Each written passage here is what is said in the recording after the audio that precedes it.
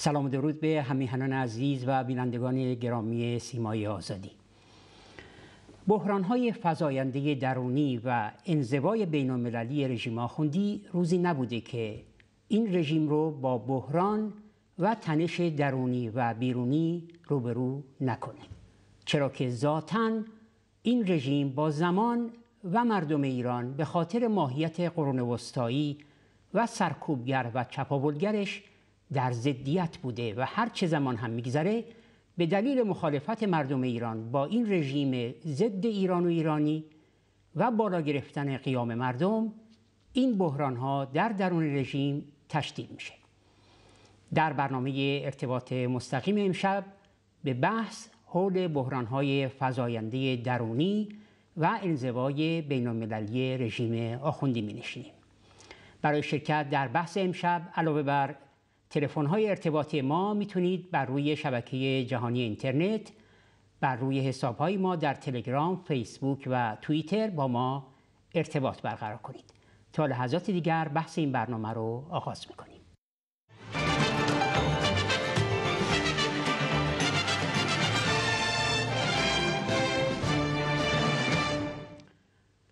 بله خوشحالم که مهمان برنامه امشب ما آقای پرویز خزایی عضو و نماینده شورای ملی مقاومت در کشورهای نوردیک هستند. آقای خزایی خیلی خیلی خوش آمدید. من هم خیلی خوشحالم که فرصتی دیگه پیش اومد که با سیمای آزادی باشم و در خدمت هموطنان عزیزم در داخل و خارج کشور و با هم بتونیم گفتگویی داشته باشیم در این موقعیت حساس میهنمان. خیلی متشکرم. برای شروع بحث آی خزایی این روزها و حتی از چند ماه پیش شاهد هستیم که تمام بحث و جدل سران رژیم اظهارات نمایندگان مجلس رژیم بحث های مجلس رژیم حول بحران های مشخصی دور می‌زنه که رژیم باهاش درگیر هست. البته این بحران ها می‌دونیم که بعد از خروج آمریکا از برجام تشدیدم شده و هر روز شاهد حضونیش هستیم. از این طرف هم رژیم تلاش می‌کنه که خودش رو کماکان با اروپا رابطهش رو حفظ کنه و خلاصه برجام اروپایی رو حفظ کنه. دیدین که ظریف در مجلس رژیم گفت باید FATF رو امضا کنیم تا بتونیم چین و شوروی و اروپا رو با خودمون داشته باشیم و مسائل بانکی و اینامون رو بتونیم حل کنیم. اگر موافق باشید من یک کلیپ کوچیک رو با اتفاق شما و همیهنان عزیزمون ببینیم. که نشون دهنده این وضعیت بحرانی هست. بعد من برم سر سوالات. دبیر شورای عالی امنیت ملی که از همه اشخاص ما حتما امنیتی تر و دلسوزتر است برگشت گفت تصویب این لایحه الحاق به کنوانسیون تأمین مالی مقابله با آمریکاست ایشون مطرح کرد که ما نظرمون این است که حتما این باید تصویب بشود. مقام معظم رهبری در چارده خرداد سخنرانی فرمودند. یک کلمه در مورد این چهار تا لایحه نفرمودند. می‌تونستن به ما رهنمود بدن. اما شما شنیدید که ایشان به دولت و مجلس این مسئله را واگذار کردند. وقتی که بخوایم به این لایه نپیوندیم منافقین به اصطلاح سازمان مجاهدین خلق را در هیچ کشوری میتون... نمی‌تونیم تعقیب بکنیم. اما با پیوستن به این لایه ما می‌تونیم اقداماتی که علیه نظام جمهوری اسلامی علیه کشور ما منافع ملی ما در دنیا صورت می‌گیره. با پیوستن به این کنوانسیون اونها را پیگیری بکنیم. لذا دوستان توجه بکنن این که بعضی از عزیزان میترسن از ارشوه خدمتون که به حال تبی که بگیرن به خودکشی رو میارن من بهشون نگرانی هایی که دارن دلواپسی هایی که دارن می‌خوام بگم هیچ ربطی به برجام نداره. تازه برجام هم ما هنوز معتقدیم برجام هم دستاوردهای خودش داشته. خب آقای خزایی این نمونه از داستانهای هر روز مجلس رژیم هست. حالا سوال مشخص اینه که وسط این بحران ها و نیاز جدی رژیم به رابطش با اروپا چرا میاد دست به کارهای تروریستی می‌زنه؟ شاهد بودین. عمل تروریستی در گرد همایی بزرگ مقاومت که دیپلمات تروریستش دستگیر شد. بلژیک و فرانسه و آلمان سه کشور عمده اروپایی درگیر این قضیه شدن. بعدش دانمارک رو دیدیم. تروریست رژیم که می‌خواست عملیات تروریستی بکنه در دانمارک در سوئد البته دستگیر میشه. قبلش دو تا تروریست رژیم در آمریکا رو دیدیم که دستگیر شدن. با این وضعیت با توجه به اینکه در نوروز سال 97 هم در آلبانی رژیم دست به اقدامات تروریستی زده بود که توسط دولت این کشور خونسا میشه. سال مشخص این هست که چرا در این وضعیت خاصی که رژیم داره و با این همه بحران روبرو هست دست به این اقدامات می‌زنه. این بسیار سوال پایه‌ای و واقعا درست و بجایی است به خاطر اینکه خیلی از رسانه های جهان حتی سیاستمدارهای جهان اینو خوب نمی‌گیرن. در بحث هم که با خود من می‌کنن تو اون کشورهای شمال اروپا به وضوح می‌بینم که اینها یه نوع دچار گیجی شدن.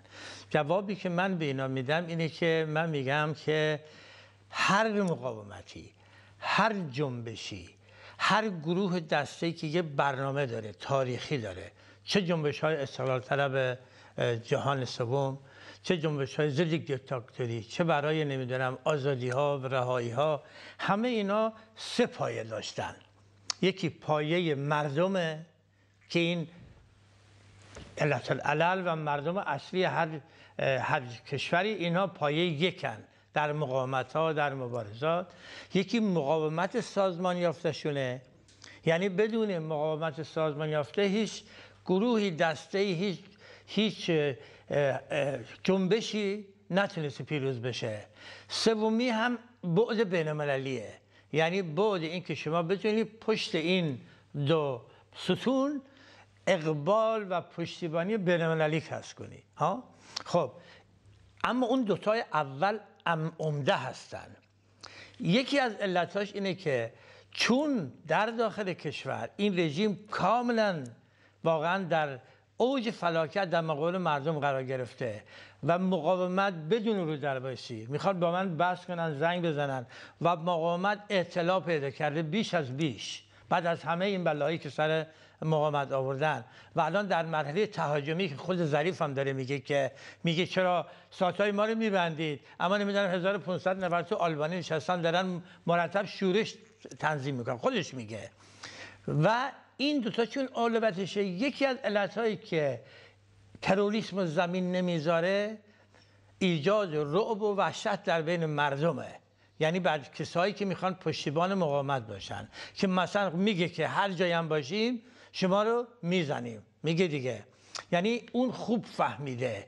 چجوری گفتش که پاسدارشون گفت چند وقت پیش در سالگرد چیز سفارت آمریکا که ما تنظیم کردیم برنامه کردیم. خود این خامنه ای اصلا همش کارش بود و خودش پشتیبانی کرد. به خاطر اینکه اگر ما این کار نمی‌کردیم مثلا این جمهوری اسلامیشون این فاشیسم ده سال هم طول اینجا هم هم یک تحلیل تقریبا نزدیک بین دارن. میگن اگه نکشیم اگه نزنیم اگه مقاومت نزنیم اما مردم نزنیم این تعصب بود وحشتی که ایجاد می‌کنه این باعث میشه که عمر رژیم ما زیادتر میشه. این یک پایه است.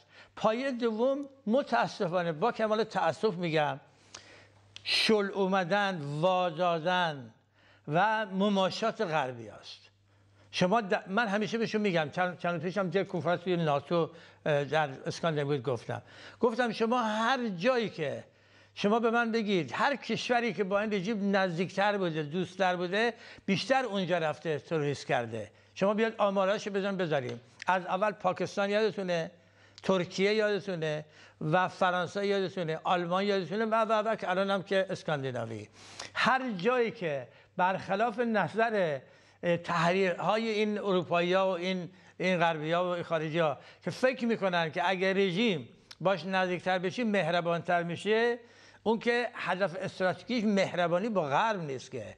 این یک رژیم ضد تمام معیارهای جامعه و تمدن بشریه که صدها سال براش مبارزه شده از عصر روشنگری تا امروز انقلابات اجتماعی دموکراسی شدن حقوق بشر. این با اینا مثل جن بسم الله است.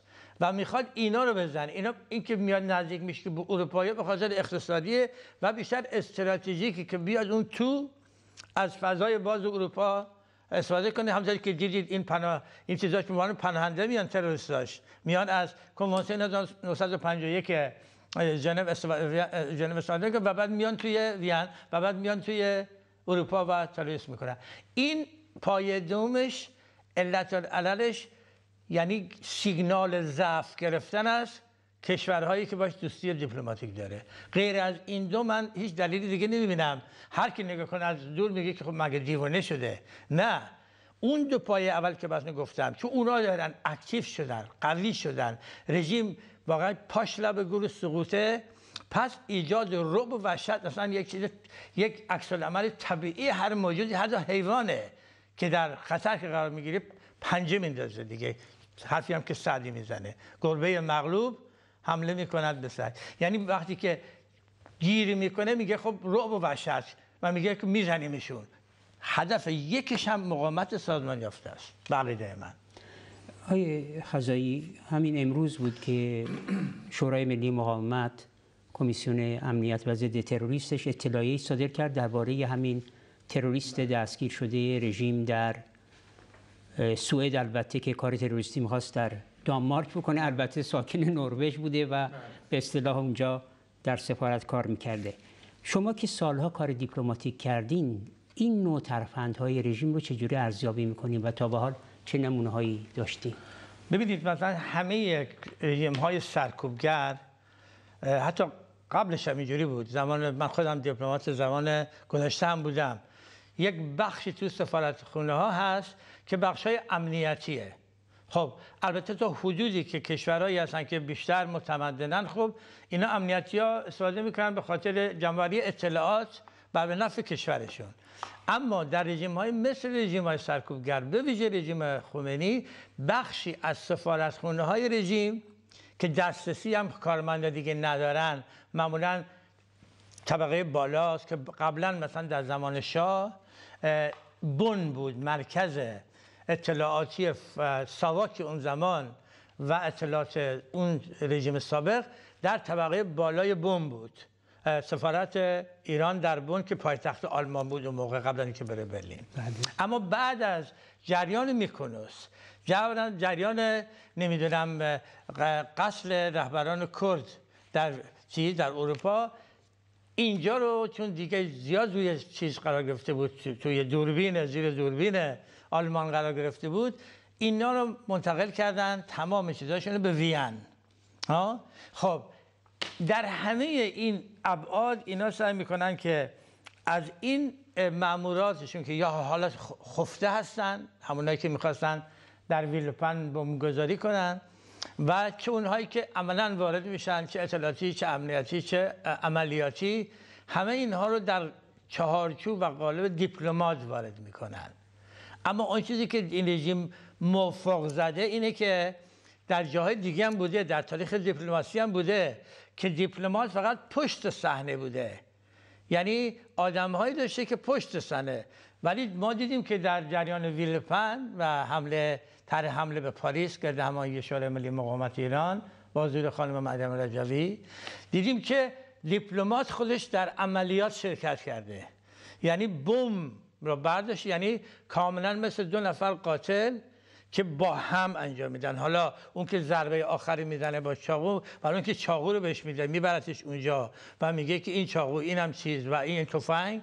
این یعنی در عملیات مستقیم شرکت کرد. این چیزی که در تاریخ دیپلماسی که من مثلا مطالعه می‌کنم طالبان ندیدم. چنین چیزی که دیپلمات خودش عملیاتی باشه این هم دلیل استیصال و بدبختی رژیمه. و دلیل اینه که باید جهان بیشتر و بیشتر به ویژه اروپا هوشیار باشه. بله. آیه خزایی در همین قضیه تروریستی رژیم در دانمارک شاهد واکنش بسیار گسترده رسانه های این کشورها بودیم حتی کشورهای بله. دیگه به غیر از کشورهای اسکاندیناوی. و واکنش شدید خود نخست وزیر دانمارک رو دیدیم که اعتراض کرد به این مسئله که نمی‌تونیم بپذیریم در کشور ما یک حکومتی بیاد ترور و قتل انجام بده و گفتش که با هماهنگی با اتحادیه اروپا این قضیه رو دنبال می‌کنیم. به نظر شما اتحادیه اروپا چه باید بکنه تا جلوی این اقدامات رژیم بیسته؟ ببینید این این کار خود مردم نوردیک و اسکاندیناوی که سابقه زیادی در این مساف های تروریستی مستقیم و سبعانه و اوریان ندارن خب یک شک شوک بزرگی بین مردم اونجا ایجاد کرده. شوکی که واقعا اصلا هنوز هم مردم می‌تونن حذفش کنن که چجوری میشه در خاک طلب کشورهای نوردیک و اسکاندیناوی یکی بیاد از پناهندگی یعنی به همت خونهای مجاهد و مبارزین و افرادی که در ایران برای آزادی شهید میشن یکی بیاد پناهندگی بگیره بر با سوء استفاده از کنوانسیون 1951 و بعد بیاد خودش بشه عامل رژیم و ترور کنه. این الان واکنش خیلی زیاده. همونطوری که نخست وزیر خود نروژ هم ابتدا گفتش که این رژیم می‌خواد ما کمکش کنیم در جاهای دیگه اما نمی‌دونیم چرا می‌خواد به ما حمله کنه این تحلیل منو شاید نشیده بود که من بعدم توی مسابقه ها گفتم تو روزنامه دانمارک که شما هر چی ضعف نشون می‌دید رژیم براتون بدتر می‌کنه. یعنی یعنی میگه عجب جای خوبی برم اونجا عکس تروریستی کنم. با توجه به اینکه قوانین مجازات اسکاندیناوی هم خب مهربانتره اینا. خب این الان این موج ایجاد شده. یعنی افکار عمومی به شدت و رسانه ها به شدت دنبال می‌کنن و وزیر خارجه دانمارک هم خوب اومده جلو و مجلسشون هم خوب اومده. هم بیشتر نماینده ها بیشتر احزاب تقریبا همشون آخریش هم سخنگوی حزب محافظه کارانشون بوده. دیروز که گفته که باید تمام این تروریست رو بیرون کرد. اصلا رژیم باید دم دستگاهشو ورچید در همون لحظه هم که اینا اینو گرفتن روز بعدش پنج کشور نوردیک یعنی کشورهای اسکاندیناوی به اضافه فنلاند و ایسلند میشن نوردیک اینها هر پنج نخست وزیرشون در اسلو بودن و در یک کنفرانس مطبوعاتی به شدت محکوم کردن و گفتن که میریم دنبال اینکه اولا در کشور خودمون چه کار کنیم چون به حال دانمارک یک کار خیلی شدید و خوبی کرده بود هم اول که سفیرش احضار کرد می‌دونید در لسان دیپلماتیک هم احضار سفیر یعنی قهر کردن از یک کشور یعنی تقریبا شبیه چیز دیگه یعنی قطع رابطه است یعنی حالت پیش قطع رابطه است یعنی قهر کردن یعنی مثلا از خونه که قهر کنی بری. خب این حالا اینها چون در اتحادیه اروپا هستن و نروژ هم عضو اتحادیه اروپا نیست اما عضو وابسته اتحادیه اروپا است در اون پیمانی که به نام ای, ای, ای دارن یوروپیان اکونومیک ارا بعد اینجا بستن تصمیمات خوش اینجوری گرفتن که حتما باید برن شکایت کنن به مجمع اتحادیه اروپا. خب در اینجاست که اتحادیه اروپا باید وایسه قد علم کنه. برای که بیشتر act ای تروریستی رژیم غیر از اون اولا که مثلا پاکستان این ور و ور و اینا بود عراق تمام خاک اروپا بوده. همه act اش ها؟ خب حالا می‌خوان چیکار کنن؟ حالا چاره ای ندارن. برجام مرجام اینا رو اصلا اصلا دیگه از چیز افتاده دیگه اصلا از حیز انتفاع افتاده. چاره ای ندارن اتحادیه اروپا و اونجا که من دیدم و تفسیر می‌کنم بحثایی که می‌کردیم با نمایندای مجلس کشور اسکاندیناوی به این نتیجه رسیدن که دولت ها که باید یک کار جدی کرد در چارچوب ایو ولی ما بهشون میگیم که یعنی اتحادیه اروپا اما ما بهشون میگیم که این کافی نیست. شما اتحادیه اروپا هم برید اما تک تک کشوراتون باید کار کنید چون در خونه شما قصد داشت انجام می شده اومده مهمون شما شده می‌خواسته بچه شما رو بکشه. می‌خواسته همسر شما رو بکشه شوهر شما رو بکشه. این دیگه فرو نمیره از گلوی رابطه دیپلماتیک و رابطه کشورهای متمدن جهان. این همه دیپلماسی و کنوانسیون وین برای رابطه دیپلماتیک کنسولی و اینا و همه اینا برای جهان متمدنه. برای جهانیه که مردم دولتاش دولت های آدمی هن. مال, مال این قرنن که گفته که دیپلمات باید اسلام گذاشت باید رابطه داشت. ولی خب وقتی یک آدم قاتلی رو میفرستی تو وین و بعد میفرستیش توی سفارت توی نروژ که الان عکسش هم هست بغل سفیر نشسته که به عنوان دربان در من میشه دربانی که در صف اول مراسم نشسته. بعد نمی‌دونم مامور سایبری و فلان فلان که حالا یه داستان در اگه بعد میگیم براشون. خب دیگه این یعنی اصلا به هیچ کنوانسیونی به هیچ چیز بینالمللی اصلا نمی‌خوره. یعنی یه عکت کامل ضد بشریت ضد همه قراردادهای جهان متمدن با هم دیگه. ها؟ و براتون هم گفتم که سابقه من تا ندیدم دیپلمات خودش بره. دیدم که دیپلمات تصادف کرده تصادفی یک زیر گرفته. نمی‌دونم توی سوئد بود که یه دیپلماتی اون موقعی که من تو سفارت تو سوئد بودم یک, یک دیپلمات سفیر سودانی خلافی کرده بود ولی شخصا در رانندگی. اما دیگه ندیدم که دیپلمات رو مجهز کنی به عنوان حمله. شما می‌دونید یک چیزی که خیلی مهمه که من همیشه اینو میگم که خوبه هموطنان عزیزم اینو گوش کنن اینه که ببینید در چارت سازمان ملل متحد یعنی اون قانون اساسی سازمان ملل متحد دو تا فصل هست فصل ششم فصل هفتم. فصل ششم اینه که وقتی یک کشوری داره صلح و امنیت رو به خطر میندازه در حرف و عمل میرن سراغش با مذاکره و با نمی‌دونم رابط دیپلماتیک که خودش یک پروسه طولانی سعی می‌کنن این کشور آدمش کنن یا این دو تا کشور ندارن جمع کنن. اما وقتی یک کشوری دولتی اکتی می‌کنه که بهش میگن اگریشن یعنی حمله رسمی به کشور دیگه این دیگه میره جز فصل هفتم که فصل هفتم شورای امنیت داره که حتی قدرت نظامی داره که خیلی سال قبل راجع موسی چونبه توی آفریقا انجام دادن توی جنگ کره انجام دادن. خیلی موقع بودی که البته اون شورای امنیت سابق متاسفانه شورای امنیت الان که لغلوغه. خب یعنی این یک از نظر تعریف قانون اساسی یعنی منشور ملل متحد این یک اکت نظامی علیه کشور دیگه است. در اینجا این خیلی مهمه که در اونجا نمیگه اکت نظامی که این این اکت نظامی آیا با فرم باید باشه؟ یعنی سرباز حمله کنه به کشور دیگر چند نفر باشن؟ مکانیزه باشه؟ تانک باشه؟ یا نه؟ اصلا اسم نمیاره. پس اگر یک معمول رسمی کشور من چه زمان توی دانشگاه اصول راجع به این نوشتم سال قبل که دارم تکمیلش می‌کنم.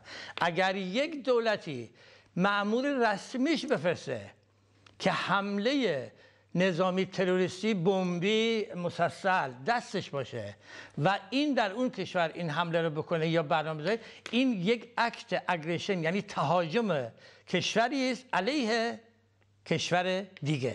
و این میره تو فصل هفتم. خب الان ما مکانیسمایی که داریم. خودش اتحادیه اروپا است. بعد آن دادگاه هاست که بذارید این رأی دادگاه چیز بیاد مال بلژیک بیاد ببینید چه چه بلایی به سرشون بیاریم. و شورای امنیت و همین اگریشن فصل هفتم مشهور سازمان ملل متحده خب در تمام این چیزها دیگه جایی بغلی من برای اروپا. اروپایی که هی داره می‌خوره. هی هی باز به قول نخست وزیر دانمارک میگیم هرچی با اینا ما خوبیم و دوستیم و اینا هی میان سراغ ما میگن کمک می‌کنید تو برجام؟ از این میان تو کشور ما می‌خوان آدم بکشن. یعنی بزرگترین اکت اگریشن یعنی میری آدم می‌کشی میری مهمون یک کشوری هستی میری اونجا اعضای خانواده کشور رو می‌خوای بکشی برنامه داری. این الان جای دیگه برای به من مناقشات این کار نیست. البته مقاومت پشت این قضیه است. هواداران عزیز یعنی باید اعضای خانواده مقاومت شدیدا پشتشن. الان حجمه کردیم به همه جا به همه دولت ها مخصوصا اسکاندیناوی که این دیگه از گلوی تاریخ اروپا نباید بره پایین. و من معتقدم که این ثمر میده. حتما حتما به همت این مقاومت باز چون برای صاحب کسی که نماینده مردم در زنجیره مقاومت سازمان یافته شد دیگه. شوخی هم نداریم. البته ملت خودش کارش می‌کنه همه کارشون رو می‌کنن. هر کی دلش برای ایران میسوزه کار می‌کنه. اما یک کسی باید مثل همه کارزادهایی که تو این چل سال کردیم یک کسی باید پشت از اهرام های حقوقی سیاسی دیپلماسی فرهنگی اجتماعی استفاده کنیم که این یکی رو دیگه خلاصه ماسخور رژیم رو بگیرن و به عقیده من باید این رژیم رو قطع رابطه دیپلماسی کنن باش. بقیه من باید این رژیم دیگه کمک نکنه حتی باید خود دانمارکی الان مجلس دانمارک گفته که آخرینشون هم سخنگوی حزب محافظه کارشون حزبی که در حاکمیت که باید نه اینا رو بیرون کرد بلکه با احزاب دیگه گفتن که باید باید چیز کرد باید تحریم کرد. یعنی یک نوع تحریم هایی که اروپا در بیاره. باید دیگه منتظر باشیم ولی منتظر اکتیو باشیم که این کار رو به ثمر برسونیم. بله. بسیار متشکرم. بحث ادامه میدیم. آقای خزایی هموطنمون افشین از انگلستان با ما در تماس هستن. سلام می‌کنم خدمتشون. خواهش می‌کنم بفرمایید. سلام عرض می‌کنم. درود بر شما. با سلام خدمت ملت ایران و رهبران غیر قیام مریم و مسعود رجوی.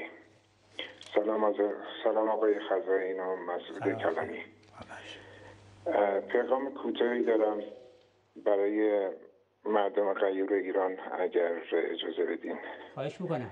از مردم میهنم درخواست دارم که به کانونهای شورشی ملحق بشن و کمک کنند به اعتصابات جمعی. کامیونداران فرهنگیان کارگران ورزشکاران کمک مالی برسانند به تمام هم میهنانمان که در مزیقه هستند. امیدوارم که دوباره گول ملاها و ارگانهای دولتی را که شروع کردن به خیمه شبازی نخوریم. جوری که وانمود می‌کنن که دیگران کوتاهی می‌کنن دزدی می‌کنن و نه خودشان. تمام این صدا همه از پشت خیمه جعبه خیمه شبازی است که ولایت فقیه.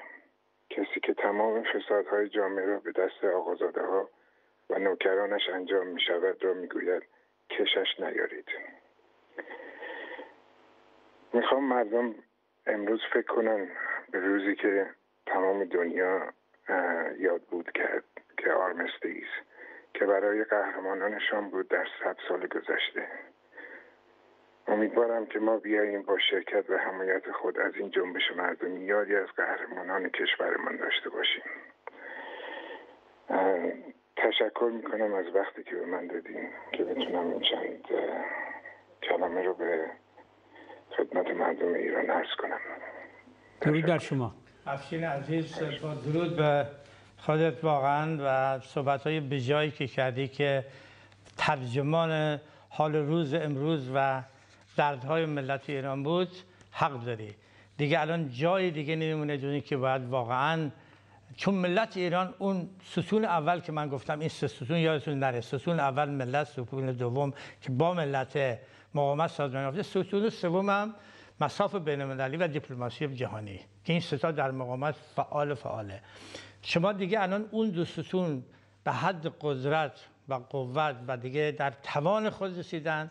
چیزی که مونده این ستون سومه که نباید دوباره ریپ بزنه مثل جنگ جهانی دوم که هنوز زخمش بر تن اروپا خوب نمیشه و نخواهد شد که نویل چمبرلن معمور انگلیس مقام بالای انگلیس اومد با هیتلر مذاکره کرد توی مونیخ و اعلام کرد که باشه حالا شما گفتی من لیبنزغاوم می‌خوام فضای حیاتی می‌خوام یه قسمتی از چکسلواکی رو دادیم ولی دیگه بحثه همین کاری که اروپا می‌کنن به رژیم میگن دیگه بس نکن نکن. برلین کردی نمی‌دونم شهید کازم رو شهید کردید نمی‌دونم. بس دیگه نکنید نکنید و بعد اونم گفت که نه ما دیگه نمی‌کنیم. همچی که آقا سازر بود دو فرودگاه لندن آقا چمبرلند گفت که peace for all time من یک جن صلح برای تمام تاریخ درست کردم با هیتلر. آقا هنوز چند روز بود استراحت نکرده بود که رفت هیتلر رفت لهستان رو گرفت و جنگ جهانی دوم شروع شد. اینا درسایی که اتفاقا اروپا بر تنی زخماش و آثارش هست. فقط این رو باید به نسل بعدیشون که الان در قدرتن اینو همین حرف خودتو به لسانهای مختلف اینا رو باید ما حالی کنیم که شما دو بار جنگ بنار اول هم این کار کردید اشتباه کردید. ولی جنگ دوم بدترینشو کردید دیگه که در مماشات و وازادن همین که گفتم ضعف نشون میدی رژیم میاد.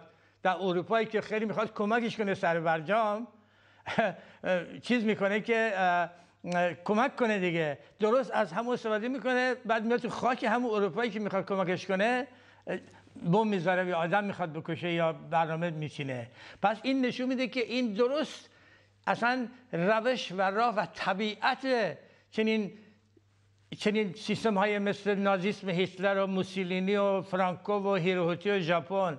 و و و و همه چپولایی که بودن تو توی توی تاریخ مثل پلپوت و دیگران. و الان هم که رژیم ضد بشری خمینی یعنی تمام روش اینا این هر چی بیشتر بهشون بدی اینا از میگن ضعف داری. همون کاری که هیتلر با قرارداد چمبرلن کرد که صلح برای همه جهان. بله. بله. بسیار متشکرم. همینطور تشکر می‌کنم از ابشین عزیز که با ما تماس گرفتن و صحبت کردن دوستمون ناصر از سوئد با ما در تماس هستن سلام می‌کنم خدمتشون. بفرمایید. ناصر هستم. از استکهلم زنگ می‌زنم. صدای من میاد؟ بله بفرمایید. الو. سلام به شما آقای رفی و مهمان برنامه آقای خزایی خیلی لذت می‌برم از صحبت های شما و که چه مسائل روز سیاسی رو میشکافید من یک چیزی به نظرم رسید. موضوع بحث این هفتمون بحران های رژیم آخوندیه. البته در چهل سال گذشته این رژیم همیشه بحرانزی بوده و بدون بحران نمی‌تونسته دوام بیاره. خب این چیزی که هممون متفق هستیم. ولی این بحرانی که رژیم آخوندی درش الان به سر می‌بره کیفیتا نه تنها کمیتا کیفیتا با بحران هایی که در چهل سی و نه سال پیش باش روبرو بوده متفاوته. بعد رژیم خاصیتش دزدی چپاول تروریسم جنایت در داخل و خارج بوده. ولی همونجوری که رهبر مقاومت ایران برادر مسعود رجبی همیشه گفته بزرگترین خصیصه این رژیم دجالیتشه. هنوزم که هنوز از اون آخوند صفتش سعی می‌کنه مسائل و بحرانهای روزش که داره با دجالیت وارونه جلوه کنه. یک نمونه از این رو که من به برام خیلی جالب توجه بود این بودش که در دو سه روز گذشته مقامات مختلف رژیم اومدن گفتن که حرفهای تناقضدار گفتن. ظریف اومده گفته که فلان و بهمان که این تحریم های جدیدی که امریکا اعمال کرده از 14 آبان خب خیلی تاثیر می‌ذاره. معاون روحانی جهانگیری هم همینجوری گفت. گفت نمی‌تونم دروغ بگم. تحریم ها تاثیر داره. ولی رئیس جمهور این رژیم آخوند روحانی بعد از نشستی که با سران قوای دیگر رژیم داشتهش اومده رسما اعلام کرده که که این تحریم ها بر اقتصاد ما تاثیر نداره و فقط بر مردم تاثیر داره. خب تحریم ها بر مردم تاثیر داره. ولی چرا اینو میگه؟ مردم کی هستن توی فرهنگ دجالیت رژیم خمینی؟ فرهنگ در رژیم مردم در رژیم خمینی از همون سال اول حکومتشون یعنی نیروهای خودی حزب اللهی و فلانش ها و چماق به دستان و تروریست هاشون بودند. یعنی این تحریم هایی که اومده البته که بر مردم تاثیر داره مردمی که از دهان روحانی در میاد. یعنی بر بسیجیش بر پاسدارش این خوبی چیز این بودجه مالی اینها کم میشه. خواه مردم رژیم در نتیجه اونا در مزیقه قرار داره و اتفاقا این تحریم های جدید خیلی به جا بوده و قوه رژیم رو خیلی تضعیف می‌کنه در مقابله با رزمندگان کانونهای شورشی و در مقابله با اعتصابات و تظاهرات سراسری که از دیماه گذشته قرار داره. و رژیم آخوندی هیچ گریزی از این تحریم ها نداره و بیشتر میشه و همچنین با شتاب گرفتن کانونهای شورشی و عملیات به زودی این رژیم رو مردم ایران به سرنوشت نهاییش که همون سیاهچال تاریخ باشه خواهند فرستاد. من دیگه ارزی ندارم. برنامه رو از تلویزیون دنبال می‌کنم. درود بر شما. من درود میفرستم. شب بخیر میگم به ناصر. گوکول به قول شما سوئدیا. و خیلی حرفای بجایی زدید. دو نکته گفتید که جالبه من یکم توضیح میدم. یکی راجع به خود تحریم ها علیرغم این که, که رژیم میگه این تحریم ها به مردم فشار میاره و اینا. تحریم ها اصلا شامل دارو مواد غذایی اینا نمیشه. تحریم ها رو رژیم می‌خواد بندازه. یعنی این بدبختی های اقتصادی که رژیم برای این ملت درست کرده رو می‌خواد با ترفندی و با همون دجالگری خمینیستیش بندازه به گردن تحریم های خارجی. در حالی که این تحریم ها بیشترش حتی اون قراردادهای این چهار لایحه ضد پولشویی اینا هم که هست همه روش به پولهایی که رژیم به خارج کشور میده به سوریه میده. درست یک هفته پیش یک سازمان آمارگیری هست که در کشتیرانی و تانکرهای جهانی آمارگیری می‌کنه. یک گزارشی داده که در این گزارش نوشته که چند صد هزار بشکه نفت ایران هر ماه بیشتر بیشتر که میشه بعضی موقع دو هفته اینها نفت مجانی میره به سوریه. پولایی هم که میگن ما میگن سالی 10 میلیارد تا 15 میلیارد یورو هم خرج سوریه می‌کنه رو بذارید کنار. و پولهایی که به یمن میده پولهایی که برای شقه کردن جنبش فلسطین میده.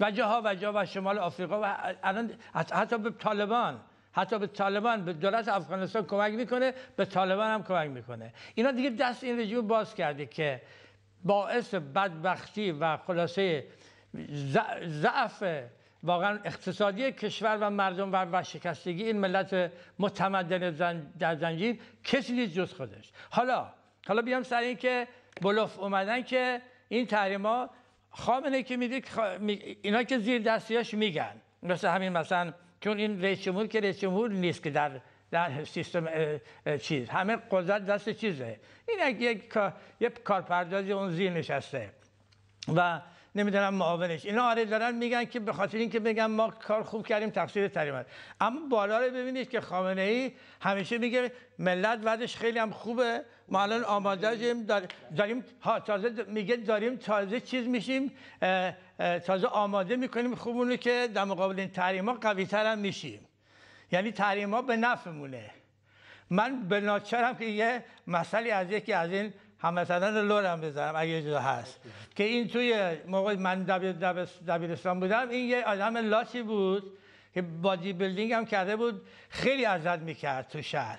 و می‌گفت هیچ که طرفدار من نمیشه. هر کی که بیاد من میزنمش. تو شهرم میچرخید و می‌گفت متاسفانه گربانم بود گربان لطیف.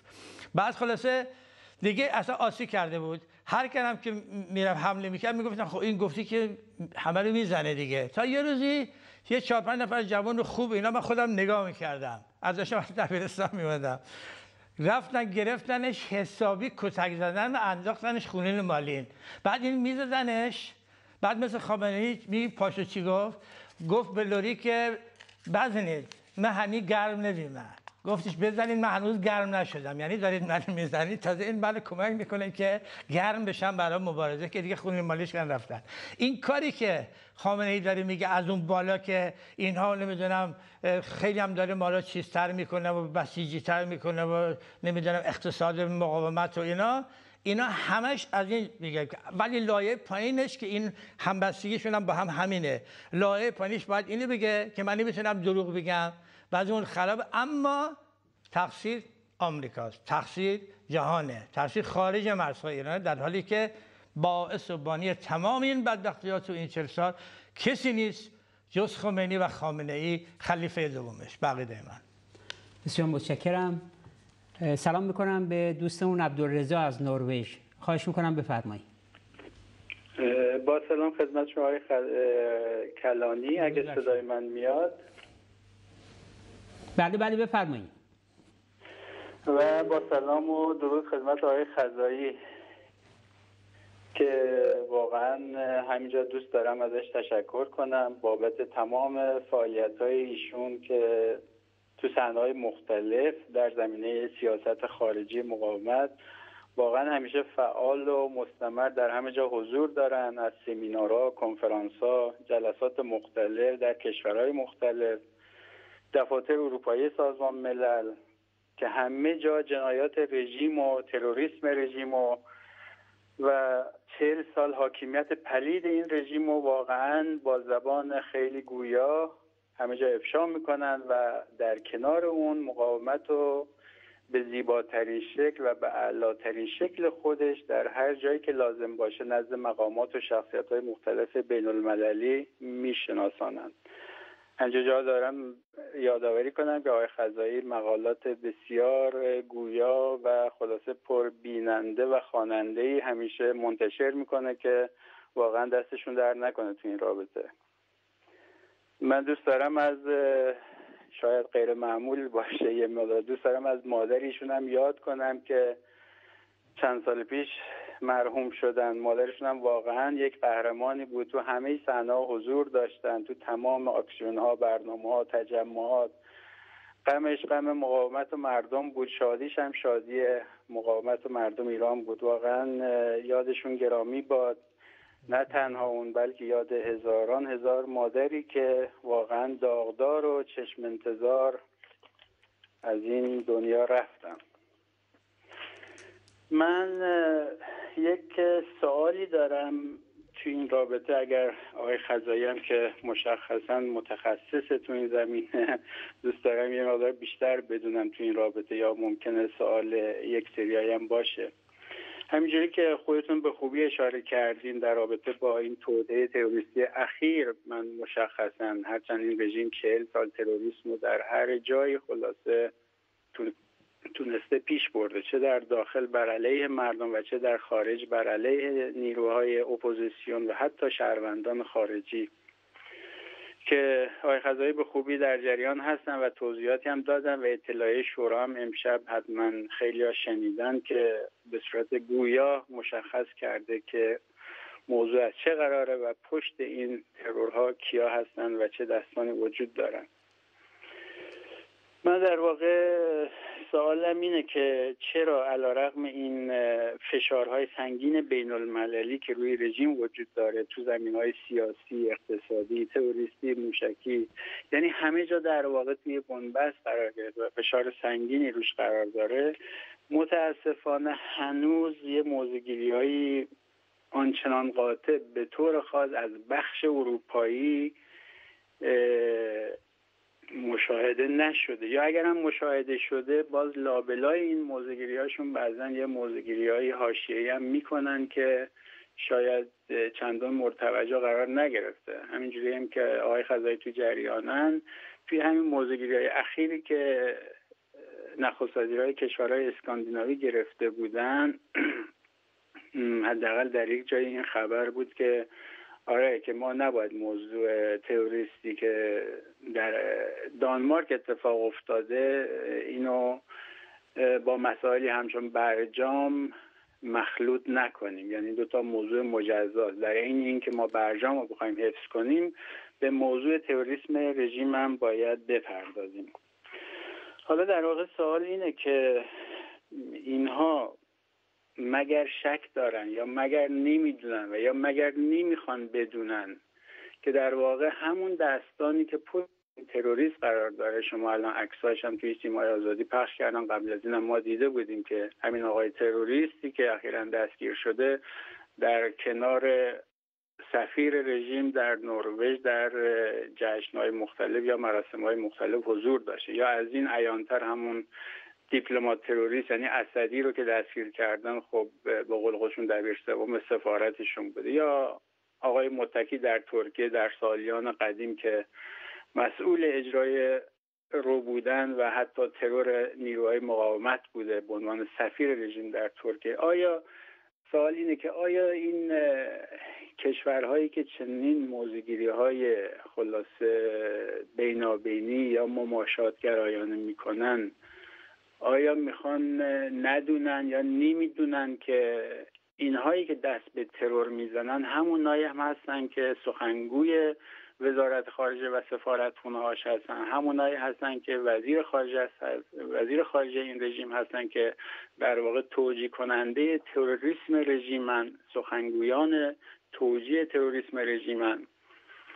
یا مثلا چجوری آدم باید به اینا حالی کنه؟ یعنی این گوشهایی که سنگین هنوز یا اون چشمایی که نمی‌خواد ببینه هنوز یا نمی‌دونه این موضوع که آقا سر کننده در داخل و تروریست در خارج بخش جدای ناپذیر از کلیت این سیستمه و اونی که پشت برجام هست همونی هم هست که پشت تروریسم رژیمه. چجوری باید این موضوع در واقع به اینها تفهیم کرد یا جا انداخت. هرچند که یک طرفش خود ماها هستیم که در واقع این موضوع رو باید هر چی بیشتر فرو کرد در گوشا و چشمهای اینا. ولی آیا راه کار و یا راه های دیگه هم وجود داره که بشه سریعتر همپای با این قیام و همپای با این های شورشی و همین اوضاعی که هممون داریم می‌بینیم در داخل؟ یعنی رژیمی که در پرتگاه قرار گرفته در نقطه سقوط خودش قرار گرفته. بتونیم یه کارهای بیشتری انجام بدیم و راه باز کنیم که هرچه سریعتر این فشارها خودشون نشون بده و بتونیم انشالله ضربه نهایی رو وارد کنیم. مجددا با تشکر از شما و آقای خزایی امیدوارم که زیاد صحبت نکرده باشم. درود بر شما. نه صحبتاتون خیلی خوب بود. من قبل از تشکر می‌کنم از لطفتون. به قول شما نروژیا توسن تک فده راجب سوالی که کردید راجب بخش اصلا همین اروپایی که الان خلاص لنگ لنگ می‌زنه هنوزم و زده و از قبل. خب من سابقه تاریخی اشتباهات اروپا رو گفتم. این بر اساس دو چیز هستی که معلفه است دو تا عامل توشه. دو تا فاکتور توشه. یکی تحلیل غلطشونه که براتون گفتم. تا مسئله تاریخیش هم زدم. و یکی سوجوی من منفعت کوتاه و متوسط. و حتی باید گفت کوتاه چون این رژیم واقعا یک روزی خواهد افتاد به زودی. و ما ملت ایران با کشورهای همه جهان همه چی دیپلمات هم که تو برنامه شورای ملی مقاومت از تو بیانیه های ده ماده خانم مریم رجوی است ما در آینده ایران با همه کشورهای جهان رابطه بر اساس تمامیت ارضی ایران احترام متقابل دیپلماسی و حقوق بشر انجام خواهیم داد. یعنی از طرف ما هیچ مشکلی این وسط نیست. مشکل اینا اینی که این منافع اقتصادی تجاریشون رو دیگه به نوک دماغشون دیگه فاصله رسیده که فکر می‌کنن که هنوز هم وقتی دارن که مثلا از این تشدد یک شرکتی از این کشور بیشتر ببره. چون متاسفانه متاسفانه اتحادیه اروپا درست اسمش اتحادیه اروپا است. ولی یک دولت نیست. مثل مثل مثلا سیستم فدرال مثلا آلمان نیست که استیتاشون همه چیزن در اداره امور داخلیشون مستقلن فدرالیستن و مثل آمریکا مثل هندوستان. اینجوری نیست. یعنی هنوز هم کشورها ریپ می‌زنن. بعضی که بیشتر منافع دارن بیشتر سنگ میدازن بیشتر مثلا سر توتایی که علیه مقاومت کردن دیدی که بعضی کشورها شدیدتر اومدن جلو. و گفتن که باید این توتی علیه سازمان نمی‌دونم این لیست گذاری برداشته بشه. ولی بعضی لنگان لنگان بودن چون منافع پشتش بود دیگه. جک استرا دیگه بهترین نمونه واقعا منفورشه تو انگلیس. خب این هست. متا حق با شماست عبدالرزا حق با شماست. این کار همینجوری رو هوا حاصل نمیشه. این باید ملتی زنده همون دو پایه. ملتی زنده و مقاومت سازمان یفتش باید همونطوری که کردیم تو این چل سال تمام این های رژیم خلاصه با رأی دادگاه ها با استفاده از سیستم های دموکراتیک جهان و اروپا و حقوق بشر و سازمان ملل متحد گرفتن مثلا 65 6 تا چیز قطنامه علیه علیه رژیم نقض حقوق بشر در سازمان ملل متحد توسط این مقاومت که از صحنه اول بوده. خب این کار کردیم اما اینها متاسفانه اون اروپایی نیست که شما کنید واحد واحده اما کار ما که شما به درستی گفتید اینه که باید خودمون در صحنه. یعنی این دو پایه من براتون گفتم پایه اول محکمه پایه دوم آلیست پایه سوم لنگ می‌زنه.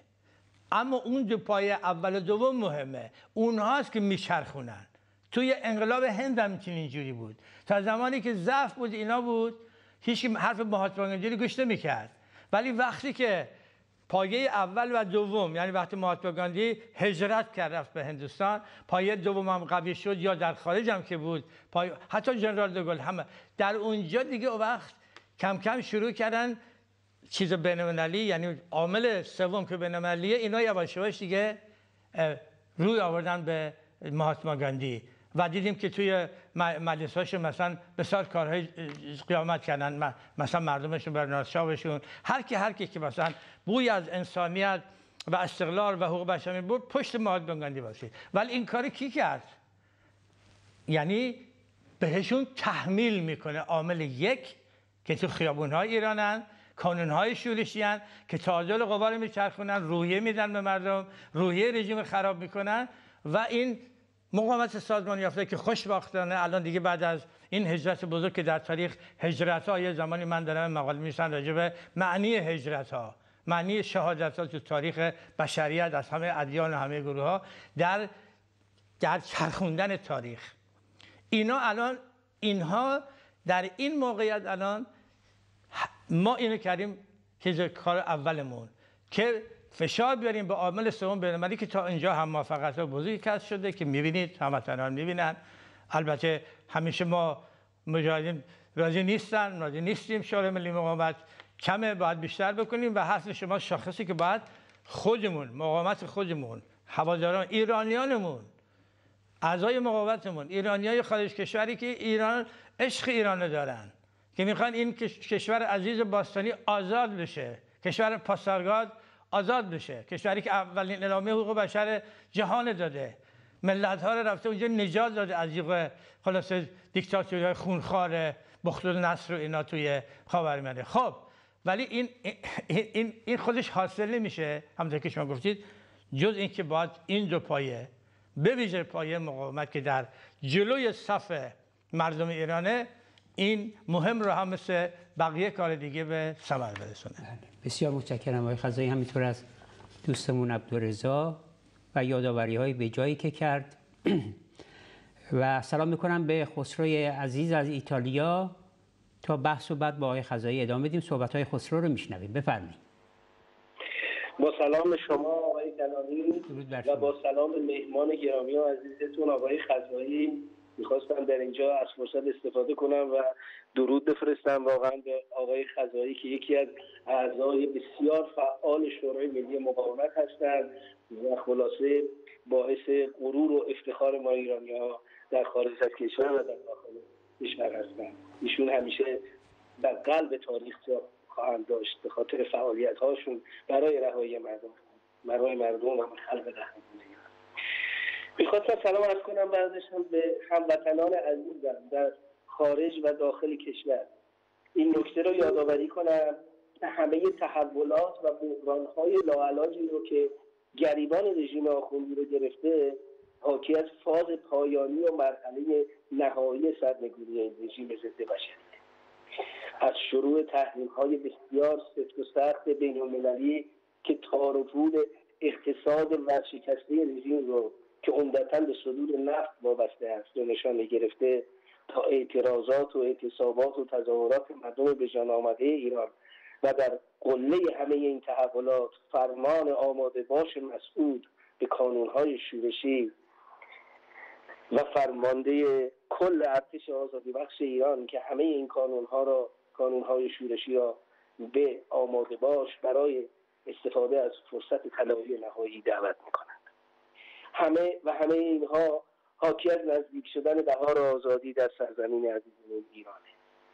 صدای خورد شدن استخوانهای این حکومت فاسد در زیر سنگ سنگین قیام به گوش می‌رسه و برای آخوندهای پیشاره راهی جز نابودی نمی‌گذاره.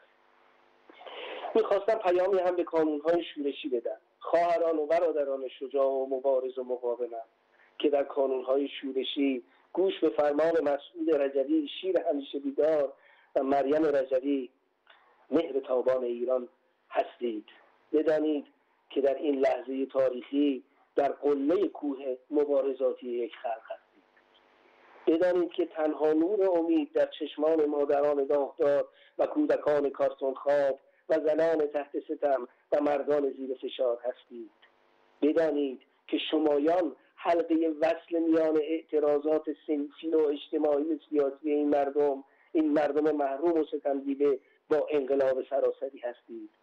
جای خود را و جایگاه خود را خوب بشناسید که شما امید همه ما ایرانیان هستید. و می‌دانم که با عزم و رزمتان سرنگونی این رژیم آخوندی را تحت فرمان مسعود و مریم میسر می‌کنید از همه ایرانیان عزیز در داخل و خارج هم می‌خوام که در گلریزان همیاری با سیمای آزادی که در آخر همین ماه نوامبر و در اوایل ماه دسامبر آغاز میشه شرکت کنند. هر آنچه در توان دارید به وظیفه ملی و میهنی خود برای میل به آزادی عمل کنید و پا به پای کانونهای شورشی در آخرین فاز مرحله شکست آخوندی به هر شکل ممکن در میدان جنگ باشید. درود بر همه شما. که با همه مشکلات مادی و اقتصادی باز هم به این کاروان رهایی کمک مالی می‌کنید و درود به همه جوانانی که در کانونهای شورشی آماده باش برای رهایی همه ما ایرانیان هستید. با تشکر از شما من وقتتون رو دیگه نمی‌گیرم و برنامه رو از تلویزیون دنبال می‌کنم. درود بر شما خسروی عزیز. با تشکر از واقعا صحبت های بسیار جالبی که کردید که خب این بحث که راجع به کانال های شویشی کردن. خب من یه توضیحاتی دارم که نمی‌دونم. بعد بگم الان بگم. شما ببینید شما واقعا به درستی گفتید. و سرنوشت ما هم هیچ فرقی با سرنوشت بشریت نداره. من یاد دفعه یادم اول که خانم رجوی اومدن به سفر شمال اروپا که بردیمشون به به موزه مقاومت مردم نروژ با مشاهده کارهایی که اون رژیم سرکوبگر هیتلر کرده بود و مقاومت و تمام شکنجه ها و تمام این کانون های شورشی که تشکیل شده بود به نام میلورگ گفتن به درستی هم گفتن که فلانی واقعا چقدر سرنوشت ملت ها به هم شبیه بدونی که زبونمون یکی باشه بدونی که بگراند تاریخمون یکی باشه ولی چقدر راهامون شبیه هم دیگه بوده با اختلافات و تفاوت‌هایی. ببینید هیچ راهی نیست جز این کانون‌های شروعی. هیچ راهی نیست جز همین حرفای واقعا شاخصی که آقای مسعود رجوی می‌زنن و این اعلامی هایی که میدن این که پیام هایی که به ملت ایران میدن به آخریش هم این چند روز پیش بود. و پیام های خانم رجوی که در همه مجالس خصوصی بین‌المللی چون چیزی ما قایم کرده و جایی نداریم. هم خصوصی هم بحث های تک تک فردی face to face به قول انگلیسی ها و هم در گردمایی ها در کنفرانس شاخص همینه. ببینید خلاصه کنم که ملت ایران اگر موافق من زنگ بزنه دوستان و بگن که من اینجا اشتباه می‌کنم. ببینید سرنگون کردن یک رژیم خیلی کوتاه سریع میگم اجازه هست؟ ببینید سرنگون کردن یک رژیم سرکوبگر یا اینکه یک کسی که اومده استعمارگر که اومده گرفته در تاریخ چند تا سناریو بیشتر نداره. اگه یه سناریو از آسمون می‌خواد قرار بیفته پایین که می‌دونید کره زمین هم که گرد معلوم نیست با پایین بالاش کجاست که ما رو پایین کنیم رو به بالا کنیم کدوم حواسه یه اون زیر زمین هستن اون برا. یعنی چون گرد دیگه. خب از بالا بیفته پایین خب این که نیست. پس میمونه این که من از چیزای بعدش شروع می‌کنم. از سناریوهای بعدش تابلوی یک حمله خارجی به کشورمون. ما همیشه گفتم تو مقالات هم نوشتم خود خانم رجمی هم مرتب میگه ما برای هفت پشتمون کافیست. دموکراسی که آقای جوی جبل بوش می‌خواست به عراق. با چکمه و سرنزا حمله نظامی. برای هفت پشت تاریخ بشر کافی است. و حتی خاورمیانه که به هم ریخت سر این.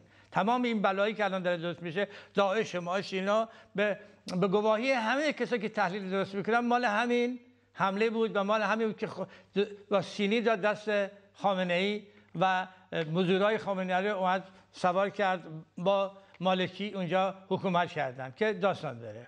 این که اصلا خود خانم رجبی خود طرحهایی که ما میدیم خود همون صحبت های دعوت هایی که کردیم این منحل و, و محکوم محتومه. یعنی ما حتی مبارزه مسلح نخواهیم که اگه کشوری بخواد به زور کشور ما رو بگیره. حالا بخواد تجزیه کنه بخواد اصلا همچین چیزی نیست. ادامه خواهیم داد. این یکی. بذارید کنار. دو کودتا. در چنته و هیئت و ساختار و در آناتومی دی این ای این رژیم چیزی به نام کودتا جواب نداره. ها؟ بقیده ما جواب نداره. اصلا عملی نیست. چون کودتا یک کسی می‌کنه مثل پینوچه که یه ارتش یک ارتش یک رئیس یا یک یک کشوری که همه هم الان قاچاقچی و فلانی شدن این پاسدارای بالاشون دیدی که همشون قاچاقچی و نمی‌دونم دیدید که بعدشون گرفتن بالاهاشون که مواد مخدر فروختن دیگه. همه دنبال پول و حتی میگن مشروبات الکلی هم خودشون میفروشن. نمی‌تونن راحت مردم می‌خوان اگه می‌خواد هشی بونشو بخوره. اینا برای که استفاده کنه پس این هم نیست. پس میمونه چیز؟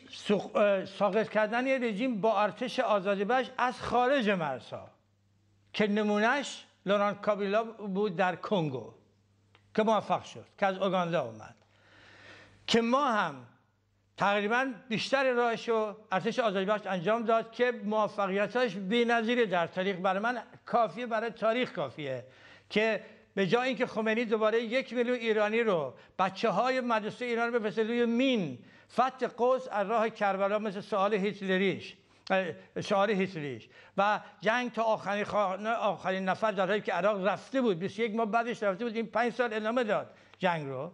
ارتش آزادی بخش زهر آتش بخش رو به گلوش ریخ و قرار بود بچه های خودشون بچه های خاتمی خامنه ای نمی‌دونم خود خامنه ای فامیلاشون همین روحانی همشون در خارج همین ظریف بچه‌هاش توی آمریکا همه اینا بخورن چیز بیدن بچه های ما بچه های دهات ما بچه های مدارس ما مردم ما برن روی مین که کشته بشن که چیه می‌خواد؟ بره مثلا حکومت جمهوری اسلامی رو بزن تو عراق که به عنوان قمر یک اتحاد جمهوری اسلامی. اینم روشن روشنه. هیچ چیزی هم نداریم. تمام اسنادش هم هست. و کتابی داریم که 6000 سیاستمدار دنیا از عکس خانم آقای مسئول رجوی در طرح صلح امضا کردن و اعلام کردن که این جنگ جنگ غیر ایرانی غیر انسانی است و باید تمام بشه. این هم سر جاشه. میمونه قیام مسلمت آمیز خب مگه نشد؟ از زندان هایی که از خانم آقای رجوی اومدن بیرون و انقلابیون و مردم خب رفتن با خمینی نشستن گفتن خب باشه تو که قول دادی که یه چیز. من خیلی راحت خانوادگی عرض میدارم. سخنرانی هم نمی‌کنم. خب رفتن گفتن که شما قول دادی توی زیر اون درخت لعنتی توی فرانسه. که گفتی که من مملکت مال خودتان با اون فارسی خیلی بدت نمی‌دونم همه چیز مال خودتان فلان اینا. بعد اومدی حالا چرا می‌خوای بیای تهران؟ او حکومت موقت نمی‌دونم فلان می‌خوای بندازی خب اونجا اولین و آخرین من توی سخنرانیم توی نوبل هم گفتم الان روی سایت هم به انگلیسی هست. که خانم رجبی تشریف داشتن در انستیتوی نوبل. گفتم که اولین و آخرین دیدار آقای مسئول رجوی یارانش بود که با خمینی کردن و اون گفت که شما مگه مسلمان نیستید. گفتن که چرا؟ گفت که خب, خب ما به شما رئیس جمهور میدیم ما به شما حکومت اسلامیه شما هم که آقای رجوی اونجا گفتن صریحا هیچ که جرئت نمی‌کرد بگه هموطنان ندیدم هیچ کسی.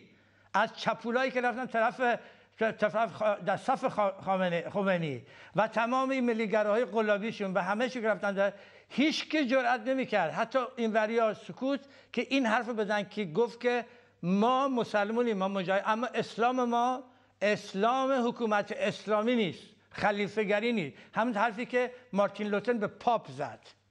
ها به گریگوری پاپ که که این دین من نیست این مسیح من نیست خب همون شد اولین و آخرین ملاقاتی که آقای مسعود رجوی برای مسلمت آمیز که این راه حل چهارم یعنی سناریو چهارم کردن و بعدش هم کشتن مجاهدین تو خیابونا شهید کردنشون و اینا دست به اصلاح نبردن تا اینکه دیگه بر اساس اعلامیه جهانی حقوق بشر هموطن عزیزم برید قسمت اولش رو بخونید تاجش اینه پرامبولش اینه که میگه حقوق بشر را رعایت کنید تا مردم در چارچوب قانون رعایت کنید تا مردم مجبور نشوند که به عنوان آخرین چاره دست به شورش بزنند. شورش ربلیون بخوانید قانون های شورشی.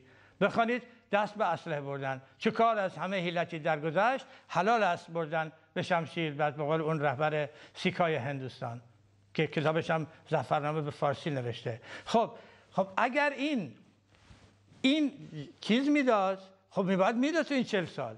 خب این همه کشتن آخریش هم که دید چیز بود دیگه. قیام 88 بود دیگه. درسته؟ درسته؟ بله. و بعدش هم از روی مردم با ماشین رد و مردم سکوت کردن روی پل حافظ. یک کلمه حرف نزدن.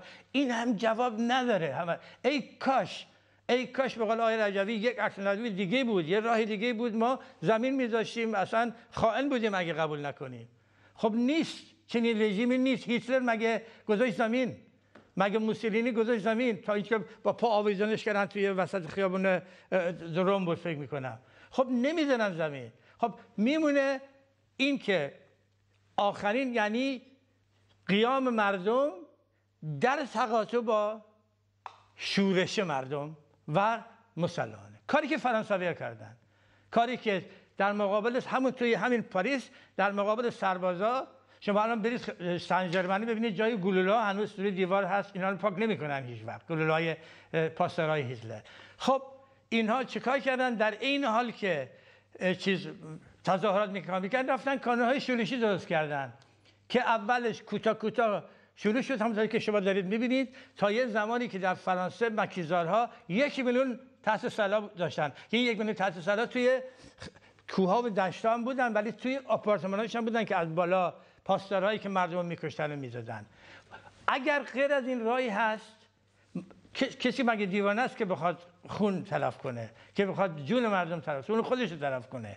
ولی نیست جز این را و بهترین فرمول را همیشه مقاومت چی؟ رژیم های سرکوبگر به مردم تحمیل می‌کنن. درسته؟ اگه من اشتباه می‌کنم به ما تحمیل بیماری به ما تحمیل می‌کنه که پنیسیلین بزنیم یا ویتامین بخوریم یا جراحی کنیم یا توموره که باید بریم جراحیش کنیم. بدنمون هم همین حالت داره. یا یه سرماخوردگی ساده بخوانید مسلمات آمیز بریم ویتامین بخوریم آب سرد خنک بخوریم که استراحت کنیم یا اینکه نه یه توموره که باید بریم جراحیش کنیم دیگه. اون دیگه نمیشه با آب آب درمانی کرد دیگه.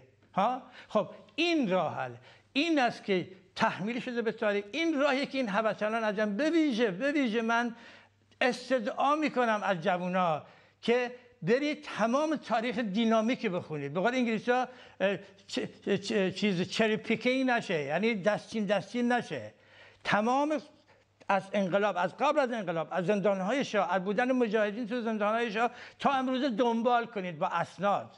با اسناد با با شواهد تاریخی مطلق تا ببینید که آیا این راهی که این مقاومت و این مردم ایران آمده آیا این راه انحرافیه یا نه؟ خط درست تاریخ بر اساس اعلامیه جهانی حقوق بشر در مقدمش که کاکلشه. دست به شورش. Resort to rebellion. The last resource.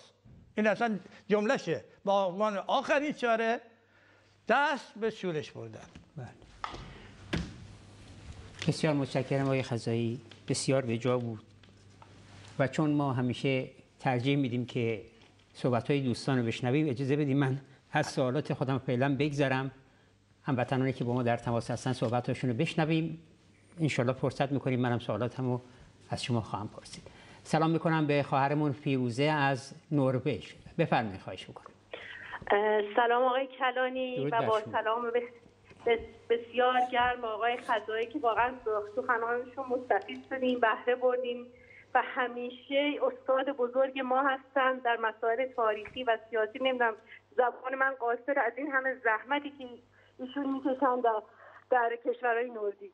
بعد سوال من اینه که توی مدت اخیر توی نروژ ما شاهد دو تا معمور رژیم بودیم که افشا شدن. یکیش که این خانم به اصطلاح لتفس بود. اون دومیش هم این نفری که مثلا نگهبان سفارت بوده ولی من این نگهبان سفارت تو ردیف اول چه کار می‌کنه؟ یا اینکه پشت سر ظریف داره راه میره چه کار می‌کنه؟ ولی که سوال جدیه من اینه چرا نروژ اینجوری مورد به اصطلاح چیز فعالیت های رژیم واقع شده؟ چرا اینقدر؟ چون ما همیشه می‌دونیم یه وقتی رژیم حمله می‌کنه یک چیزی باید باشه یک مقاومت باشه که رژیم انقدر توی رژیم توی نروژ داره پیشروی می‌کنه. من گفتم اگه آقای خزایی لطف کنن این قسمت رو بگن چون تو اطلاع شورا یه نکته کوچیک ذکر شده بود. من گفتم اگه بتونن بگن من خیلی ممنون میشم. مزاحمتون نمیشم. می‌دونم خیلی هموطنان دیگه پای خطن و از سیما دنبال می‌کنم. بر شما. بسیار متشکرم.